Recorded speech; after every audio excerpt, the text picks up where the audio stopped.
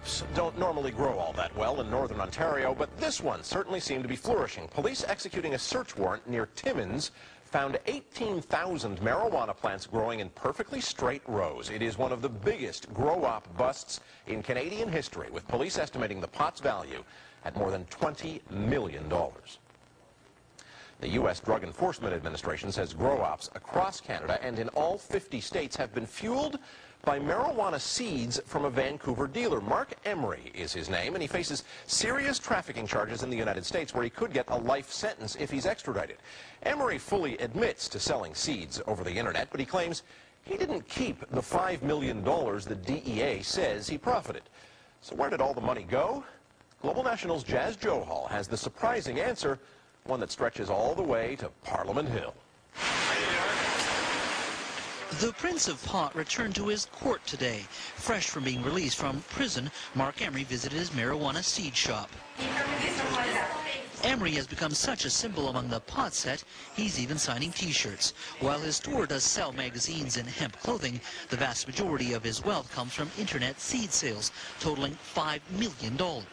But as a person like me who keeps nothing, I clearly have benefited personally less than many, many other people who sell seeds, who keep all this money and buy goods and assets and store money offshore. The DEA alleges the $5 million are proceeds of crime. Emery sat down with Global National to crunch some of the numbers. He says half of the money went to pay seed wholesalers for stock. Then he paid himself a salary up to $350,000 a year, which was taxed. The remaining dollars, he says, went to fund marijuana legalization efforts around the world, court costs for activists, and ballot initiatives in the U.S. His goal, he says, was to bring a business plan to pot culture. My manifesto has been clear uh, that I developed a retail revolution so that we could earn lots of money to fund a peaceful revolution that would change the way the world thinks about marijuana. I would legalize this and I would tax the living hell out of it. Those dollars helped Emery fund this marijuana conference, which included Vancouver's mayor, Larry Campbell cost $34,000. It's his political involvement, he believes, that's led to the U.S. laying charges. In fact, Emery donated $9,400 to the NDP with his marijuana seed kingdom. In fact, NDP leader Jack Layton appeared on Emery's Pot TV, calling marijuana a wonderful substance. As you can see, they must be frightened to death that people like Jack Layton would come to my home and ask for my support. Not me asking for their support, but they coming to my home and asking my support. That people on city council, that mayors of city will come to my conferences and make their pronouncements. This frightens the United States. They see that this person is having an influence. It's not about marijuana. Besides his salary, Emery says all the money went to pay for activism. He kept none of it. He may wished he had. With extradition, he faces hefty legal bills. In Vancouver, this is Global's Jas Johal reporting. The Prince of Pot is out of jail, having posted $50,000 in bail money. Marc Emery, the leader of the BC Marijuana Party, was arrested last week in Halifax at the request of American authorities. If extradited and convicted, he could face 10 years in jail. A week in the slammer hasn't softened the Prince of Pot's resolve. Out on bail, the Americans want him back behind bars in their country. But Marc Emery, on the left with the manager of the BC Marijuana Party, seems to have spent his time in solitude wisely, already formulating some key points in his extradition defense including Ottawa's apparent complicity in his marijuana seed operation. The government of Canada knew I was selling marijuana seeds. The Income Tax Department, the Canadian Revenue Agency, gladly took $380,000 from me in personal income taxes over the last five years, and they knew that this was from the sale of marijuana seeds. They were anxious to get this money. They were glad to get it. They knew it came from marijuana seeds. They said that didn't concern them. They, they welcomed the money. Emery says it was his high profile, in your face approach to marijuana activism and the sale of seeds to the U.S. that made him a target for the DEA. It's alleged he sold seeds to undercover American police. They asked for a warrant, and Vancouver police raided his seed store last Friday, arresting some protesters. Emery was arrested in Halifax and brought back to Vancouver. In court Tuesday, the lawyer for the American authorities opposing his bail claimed over $5 million passed through Emery's two business accounts. I never aggrandized myself. I didn't use this money. I never travel. I don't own anything. I own no cars, stocks, bonds, offshore money. I don't own homes. I have no personal property of any kind. I've never kept any of this money ever, and I will be able to show you that I have given millions and millions away to worthy causes, uh, causes that oftentimes involved uh, leaders of political parties. As a condition of your bail, you can't sell seeds anymore. And what happens to the movement if you can't raise money?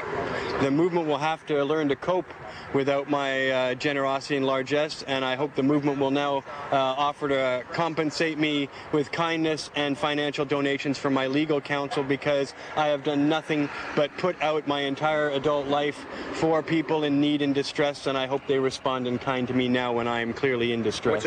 Canadian police arrested Emery for the DEA. The question now, will our courts extradite him to the U.S. where he could face a minimum 10 years in jail?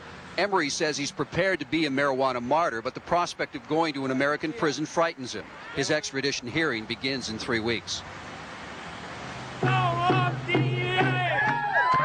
For supporters of Marc Emery, it's become an issue of Canadian sovereignty and a battle to protect the so-called Prince of Pot from being extradited to the U.S. for selling marijuana seeds over the internet. But to U.S. officials fighting the war on drugs, Marc Emery is a criminal who is a danger to America. In the growing of thousands and thousands, tens of thousands of marijuana plants in America, thus involved in the allegedly in the illegal distribution of marijuana in this country. He is a drug dealer. For the past decade, Marc Emery has been publicly flaunting his disregard for marijuana laws and working to legalize the drug that many regard as a benign substance.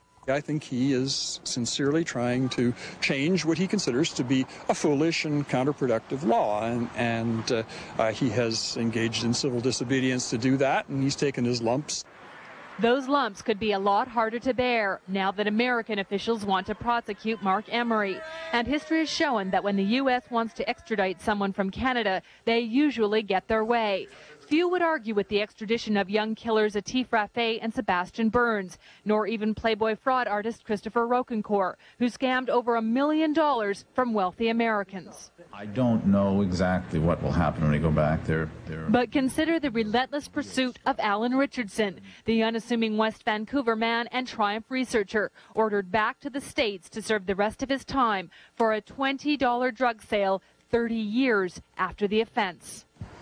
Well, this is a good example of the complete lack of perspective in these things. I mean, what is the harm being done? I mean, if Americans want to uh, say marijuana is a bad thing, that, that's fine, but they're, they're treading on thin ice. But treading with massive political clout and with no hesitation to use it against Canadian citizens like Marc Emery. 90% of his uh, seed business comes from down south. He knows that, and he knows how draconian their rules are. Yet he continued to sell seeds down there uh, anyways. Uh, he rolled the dice and he lost. I think they should stay in their own country. This is Canada. That's the United States. Keep your own laws down there.